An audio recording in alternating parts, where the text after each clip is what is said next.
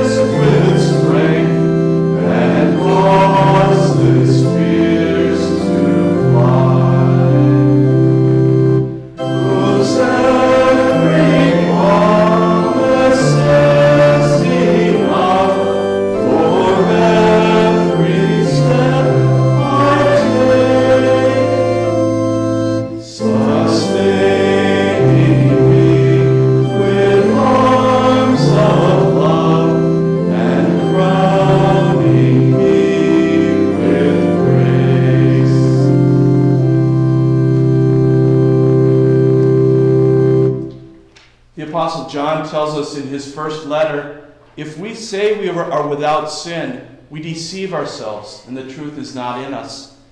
But if we confess our sins, he is faithful and just, and will forgive us our sins and purify us from all unrighteousness. Let us then confess our sins to God our Father. Merciful God, we confess that we are by nature sinful and impure. We have sinned against you in thought, word, and action. We have not loved you with our whole heart. We have not loved our neighbors as ourselves. We justly deserve your punishment, both now and in eternity. For the love of your Son, Jesus Christ, have mercy on us. Forgive us, renew us, and guide us, so that we may be light in your holy will, and so that we may walk forever in your ways, to the glory of your holy name. Almighty God, in his mercy, has given his only Son to die for you. And by his love for his Son, he forgives you all your sins. Therefore, as a called pastor of this church, I forgive you all your sins in the name of the Father, and of the Son, and of the Holy Spirit. Amen. Amen. We pray. Lord of seed time and harvest, we thank you for the blessings you grant to the earth each season. We rejoice in the wonderful richness of the land and the astounding variety of food it produces to delight and satisfy us. We ask for one thing more the willingness to share our blessings so that all the earth can rejoice in your generosity. This we ask in the great name of Jesus. Amen. Please be seated. Our psalm for today is Psalm 100. It's a song of prayer that, that tells why we praise God. Two reasons, really. God is good. God is our God. We know that. God is God because He made us and because He made us His. We rejoice in those two facts.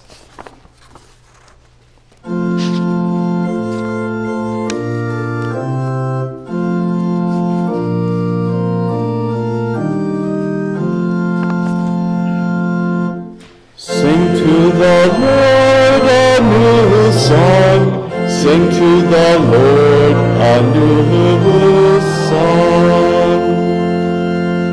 Shout for joy to the Lord, all the earth. Worship the Lord with gladness. Come before him with joyful songs. Know that the Lord is God. It is he who made us, and we are his. We are his people, the sheep of his pasture. Sing to the Lord a new song. Sing to the Lord a new song. Enter his courts with thanksgiving and his courts with praise. Give thanks to him and praise his name. For the Lord is good and his love endures forever. His faithfulness continues through all generations. Glory be to the Father and to the Son and to the Holy Spirit, as it was in the beginning, is now, and will be forever. Amen. Sing to the Lord a new song. Sing to the Lord a new song. God's word from Deuteronomy chapter 8, verses 10 through 18. Then you will eat and you will be filled, and you will praise the Lord your God for the good land that he has given you. Be very careful so that you do not forget the Lord your God by not keeping his commandments and ordinances and his statutes that I am commanding you today.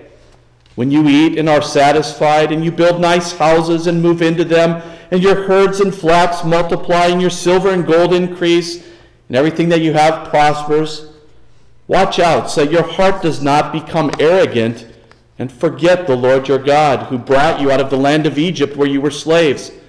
Do not forget the Lord, who led you in the great and terrifying wilderness, where there were venomous snakes and scorpions, where the thirsty ground had no water, but the Lord made water come out of a flint rock for you. Do not forget the Lord, who in the wilderness fed you manna, which your fathers had not known before to humble you and to test you so that it would be good for you later on. You might say in your heart, My ability and the power of my hand have earned this wealth for me.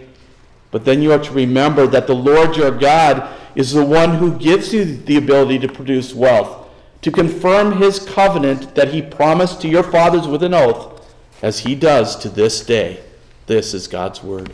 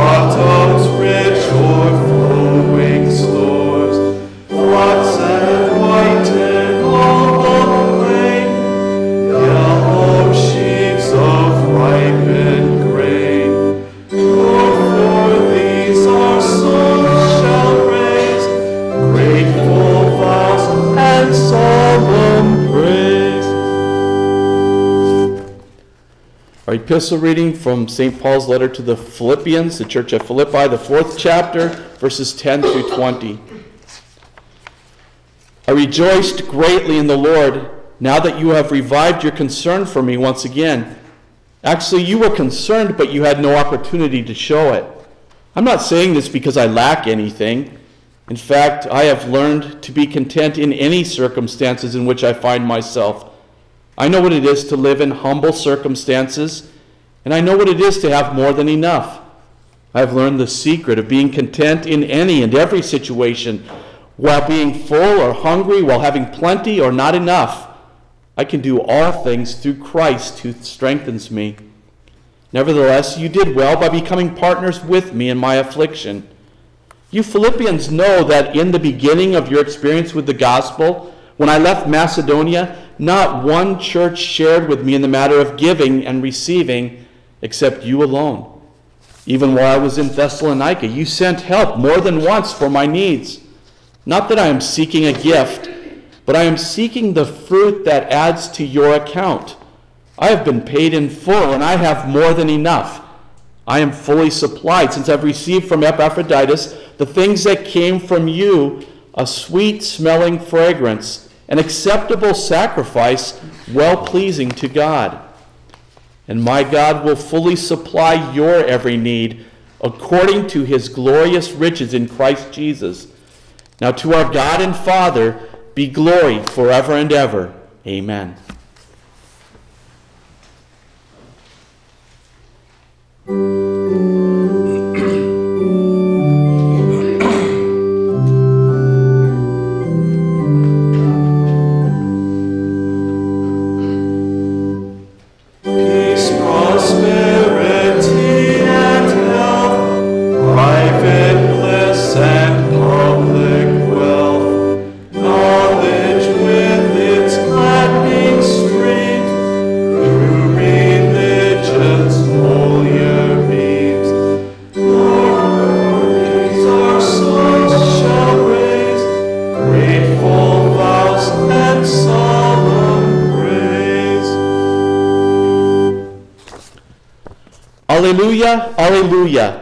Praise the Lord, O my soul. All my inmost being, praise his holy name. Alleluia.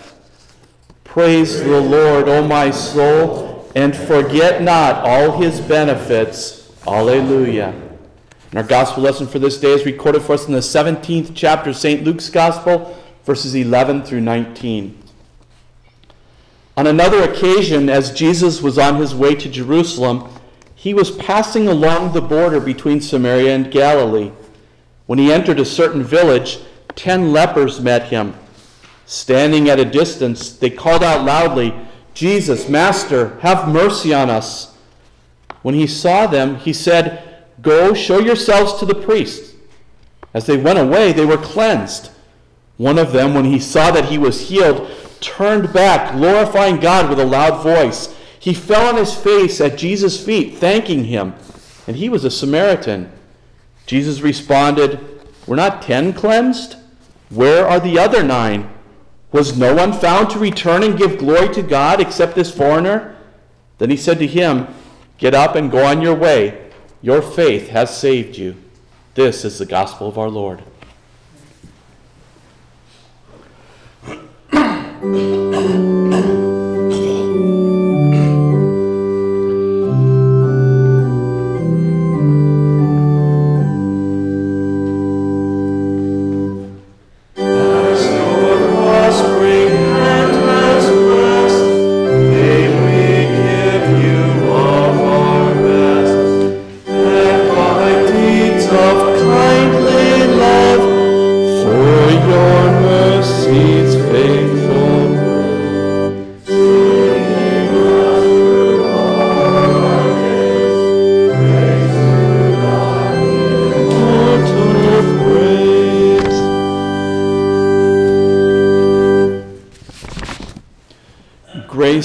mercy, and peace are yours from God our Father and our Lord and Savior, Jesus Christ. Amen. The part of God's Word for our consideration this thankful day is written for us in Psalm 34, the first eight verses. By David, when he pretended to be insane in the presence of Abimelech, who drove him away, and David left. I will bless the Lord at all times. His praise will always be in my mouth. In the Lord my soul will boast. The humble will hear and rejoice. Proclaim the greatness of the Lord with me, and let us exalt his name together. I sought the Lord, and he answered me. From all my terrors he delivered me. His people look to him and are radiant, and their faces will never blush. This poor man called, and the Lord heard. From all his distress, the Lord saved him. The angel of the Lord camps around those who fear him, and he delivers them. Taste and see that the Lord is good. Blessed is everyone who takes refuge in him.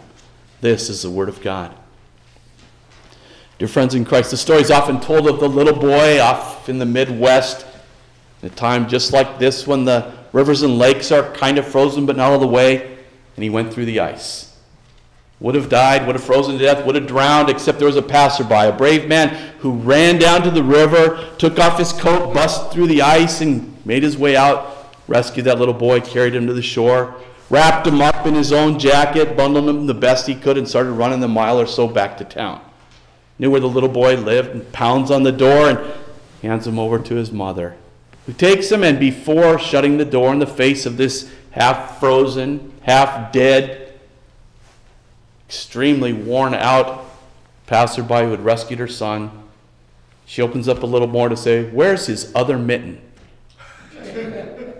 We're almost shocked sometimes by the ingratitude, by the lack of appreciation people show for certain things, right? I mean, we know to say thank you. We're polite people. We even teach our kids to say thank you. That's one of the first things we, t- if somebody does something nice and and no one says thank you. Wow, we think that is really rude and selfish and impolite and thoughtless, isn't it?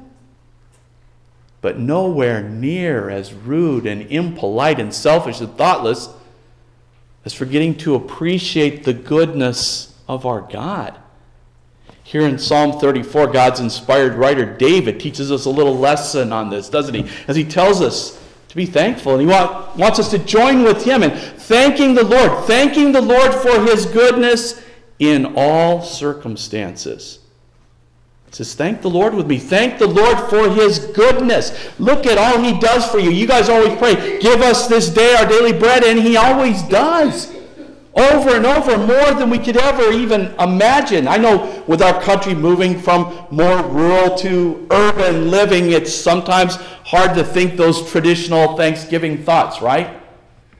Hardly any of us just got in from the fields after combining the harvest yesterday or, or getting our tractors in, the, getting the wagons in and filling up the silos. Hardly any of us did that this week. And maybe we do need to stop a little and reflect that, oh, yeah, yeah, yeah, the grocery store, the, the market, that's not the starting point for our food. I mean, we intellectually know that, but we need to, to think this through. And and it's not just the food. That, that's just a small fraction of this daily bread our Heavenly Father constantly, constantly is blessing us with and taking care of for us. I mean, if we'd sit and actually think about it, we'd have to be like that little kid out camping with his parents, and the sky is just, wow, so glorious with all those stars out there. He's going to count them all.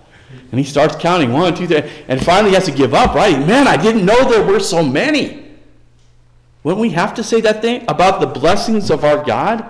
I mean, living as, as, as members of our families, as, as citizens in this country, as people get to be members in this congregation, and, and just think of the way God keeps on supplying all these wonderful things for us.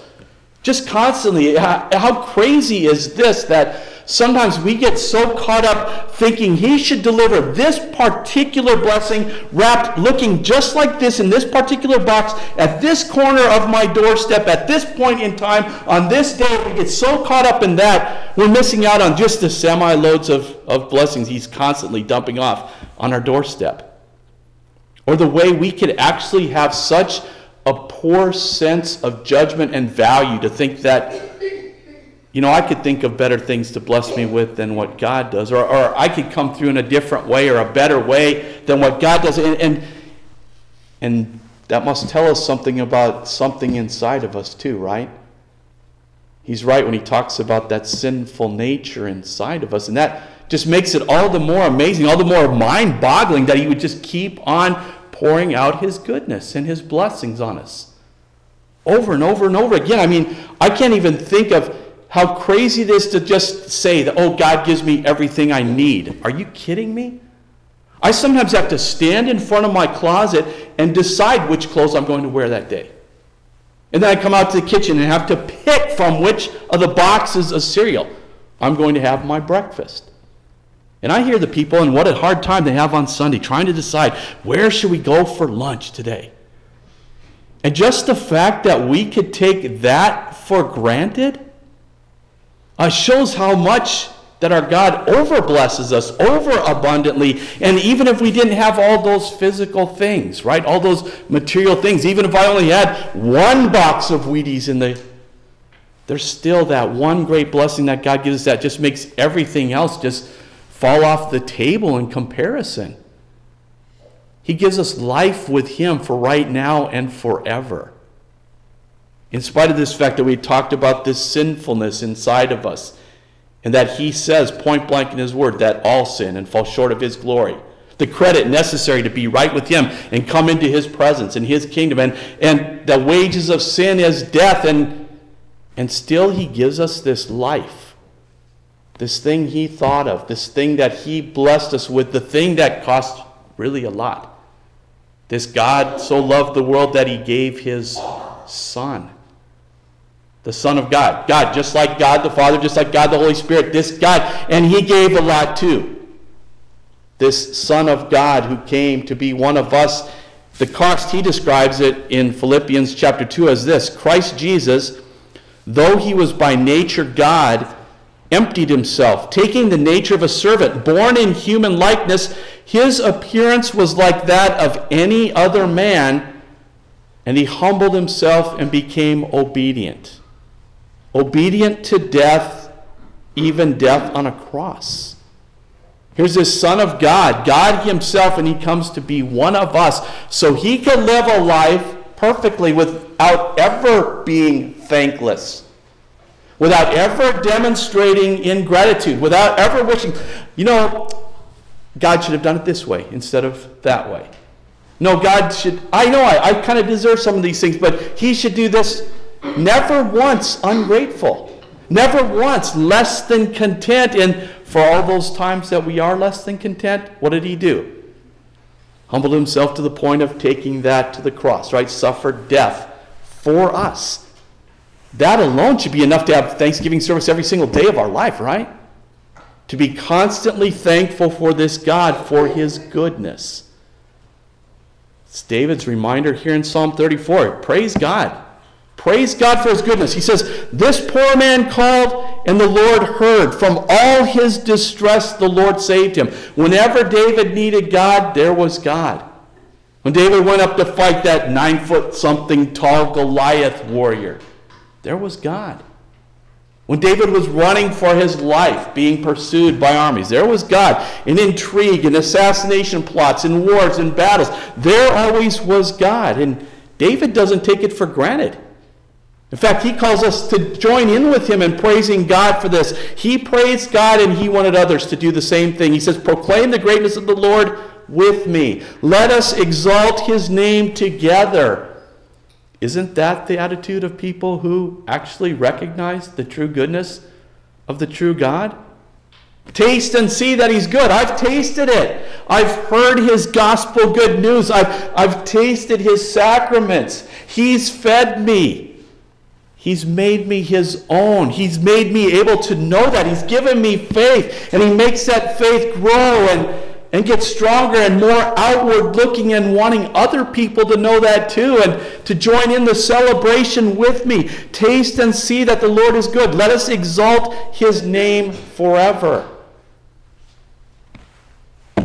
How thankful God wants us to be, how God makes us able to be this thankful and invite other people into this. Yeah, thank Him for His goodness.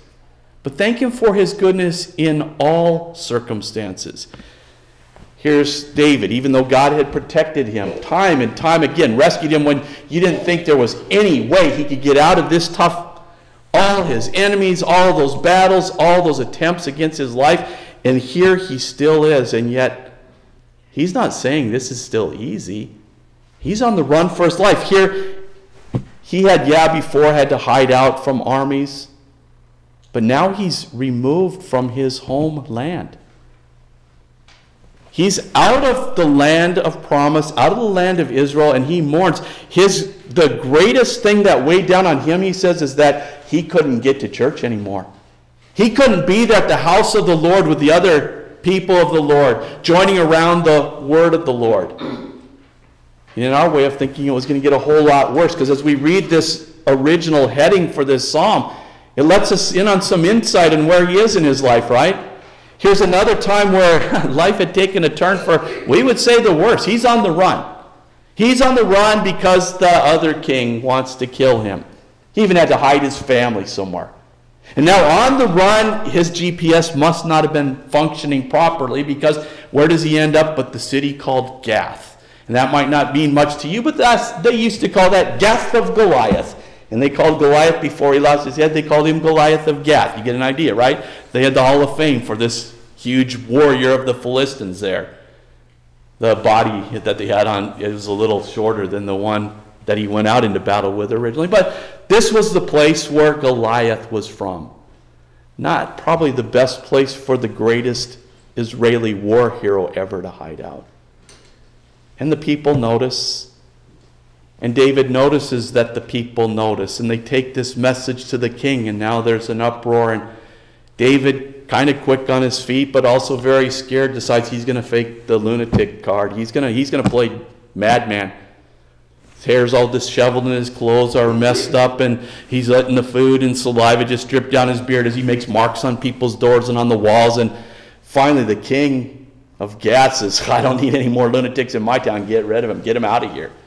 and sends them away. Not a high point in David's life. Not sometime when he's really feeling good about himself, right? Or his situation or his circumstances. But still, he's feeling good about his God. This most desperate of times, what does he write? I will bless the Lord at all times. His praise will always be in my mouth. Guess he's not what you'd call a fair weather Christian. He's thanking God at the most stressful time in all his life. And how about us again?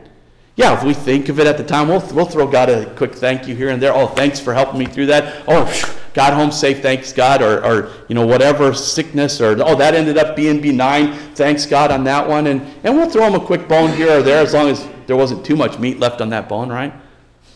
But what about when something's not exactly the way we want it to be? What if there aren't finances to cover the expenses? What if the what if the, the health report comes back malignant instead of benign? What if what if someone doesn't treat me the way I think that person should be treating me? And you notice how quickly we can go from seeing these truckloads of the Lord's blessings to only, only, only seeing that one thing wrong.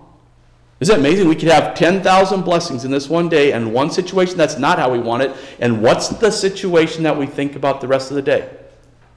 One of those good things, the many, many, many ones, or that one bad thing, and get all focused in only on that negative thing.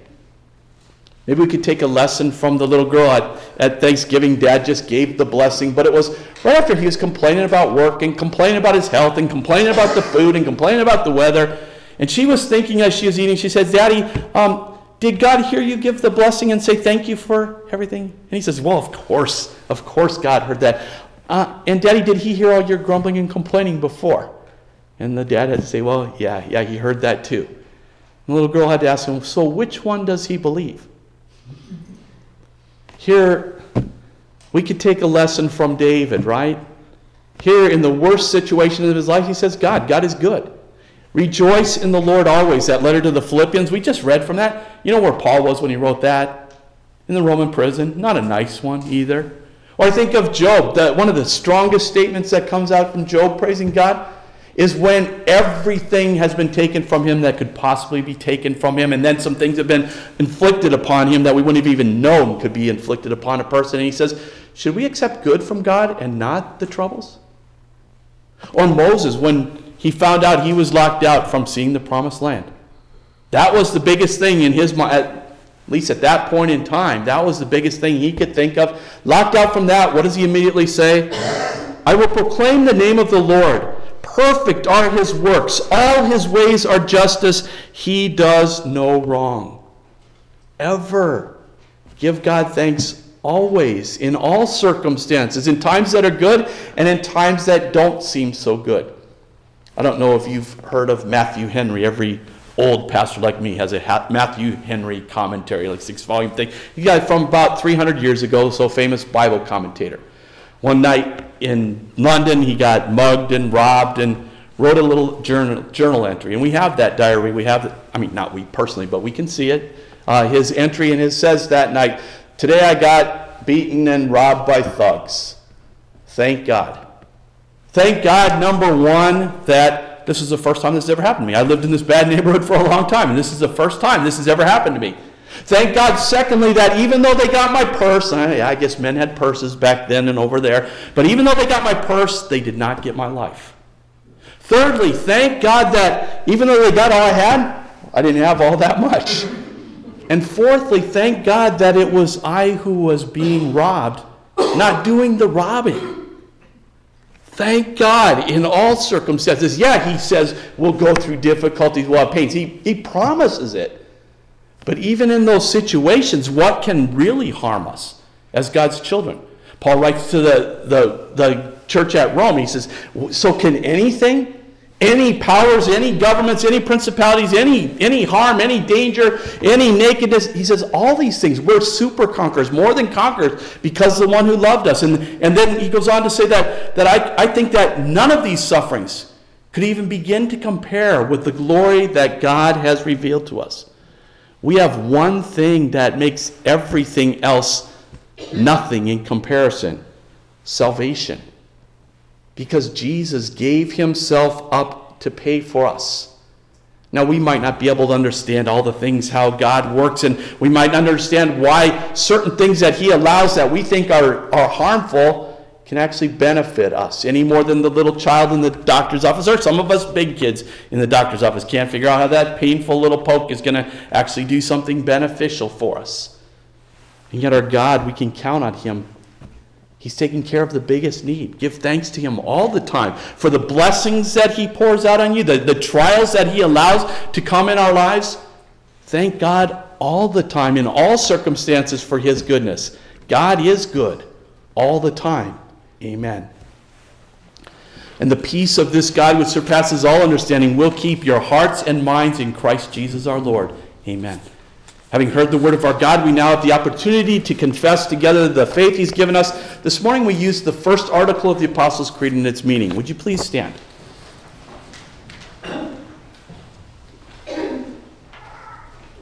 I believe in God, the Father Almighty, maker of heaven and earth. What does this mean? I believe that God made me and every creature, and that He gave me my body and soul, eyes, ears, and all my members, my mind and all my abilities. And I believe that God still preserves me by richly and daily providing clothing and shoes, food and drink, house and home, wife and children, land, cattle, and all that I own, and all that I need to keep my body in life.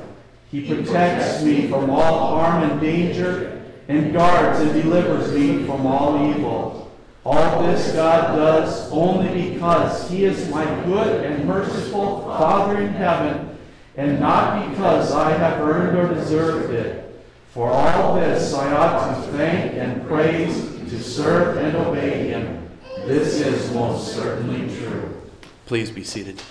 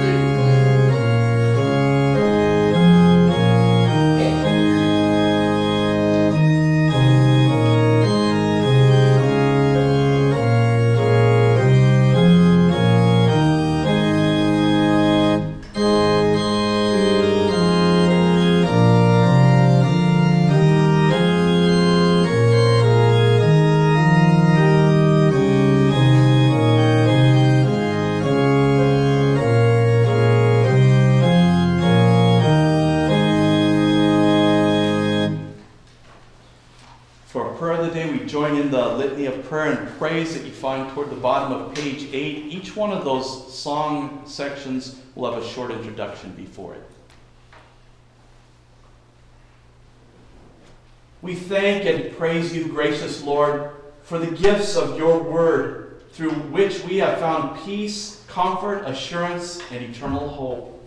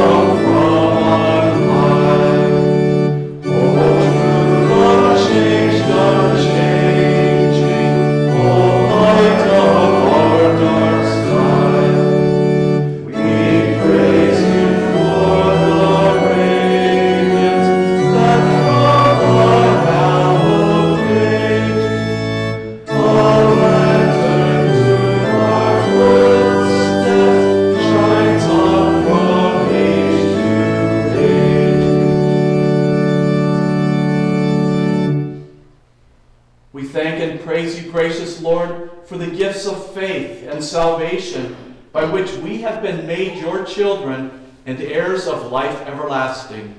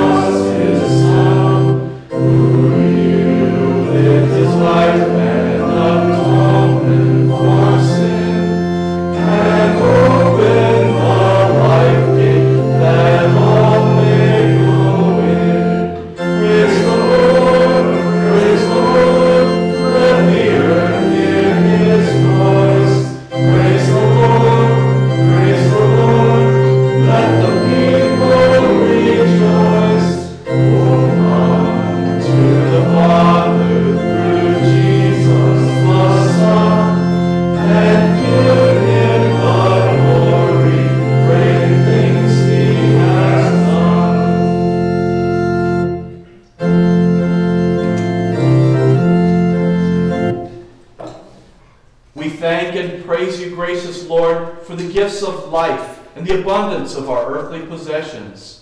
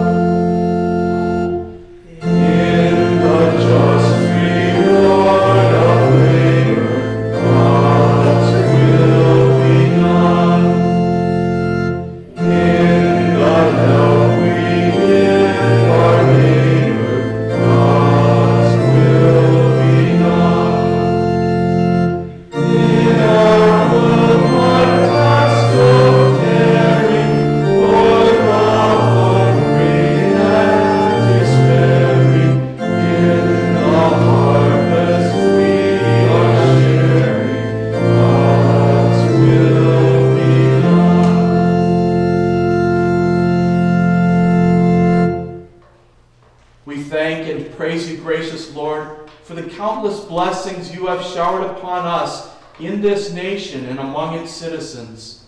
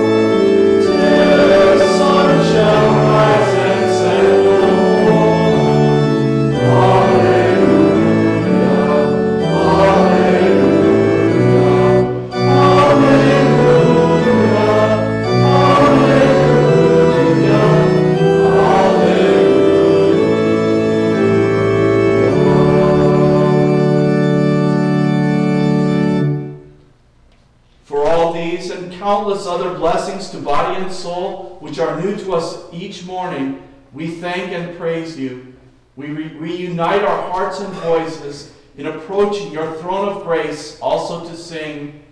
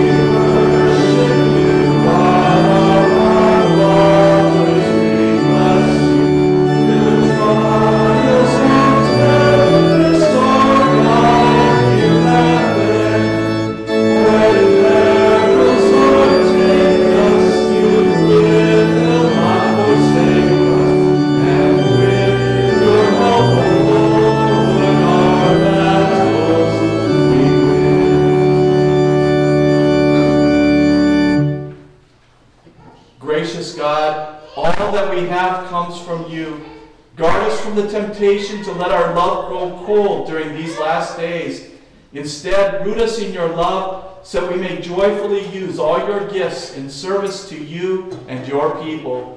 We pray through Jesus Christ our Lord, who lives and reigns with you in the Holy Spirit, one God, now and forever. Amen. Our Father, who art in heaven, hallowed be thy name. Thy kingdom come, thy will be done on earth as it is in heaven. Give us this day our daily bread, and forgive us our trespasses, as we forgive those who trespass against us. And lead us not into temptation, but deliver us from evil. For thine is the kingdom, and the power, and the glory, forever and ever. Amen. The grace of our Lord Jesus Christ and the love of God and the fellowship of the Holy Spirit be with you all. Amen. No.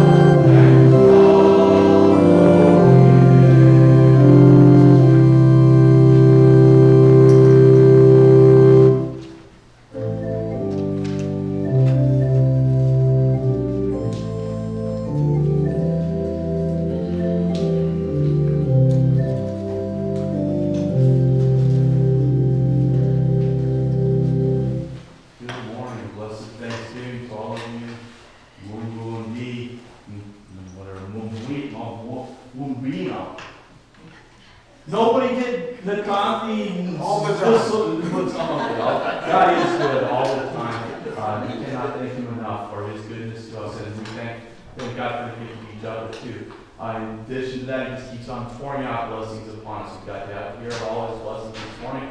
There's even a ton more of stuff he gives us out in the narthex. There's, there's meditation booklets that start this Sunday. If you're not up to date on your meditation booklets, they're on the right switch. There's some Advent devotion materials, uh, Martin Luther College sent them to us, so you could be prepared for Christmas with a little devotion for each day. In December, there are calendars, so you can see the church schedule, I know, come, for example, even on Wednesday night for soup supper at six, and the service at seven P M.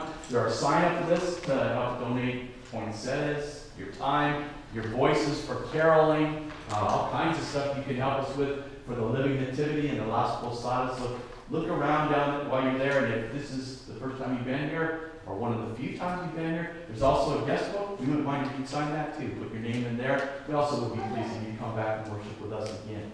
Anybody got anything else? Have a very blessed Thanksgiving. Have a thankful day and a thankful rest of the week.